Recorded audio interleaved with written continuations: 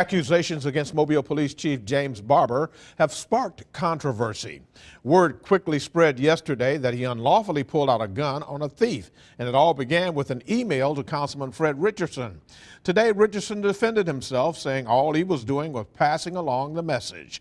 News 5's Allen Carter reports.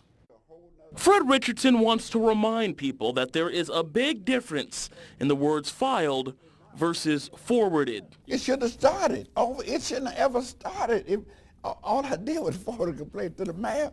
Richardson says, yes, his office received a complaint from a citizen over Police Chief James Barber. It said Kenneth Padgett claims Chief Barber unlawfully pulled a gun on him Monday.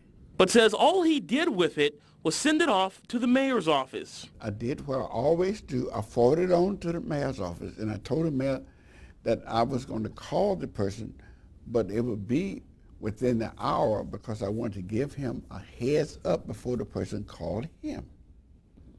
That was the end. I did nothing else. Two hours later, a statement came from Mayor Sandy Stimpson saying they were investigating Chief Barber. Chief may be led to believe that uh, I initiated this. I, I, I, didn't initiate anything. We talked to the man behind the complaint on Thursday who admits that, yes, he was stealing when the confrontation happened.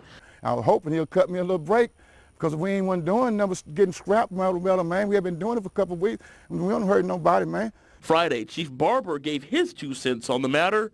My advice to Mr. Padgett is that the next time he is caught in the process of a burglary, that he contact a lawyer and not his councilman.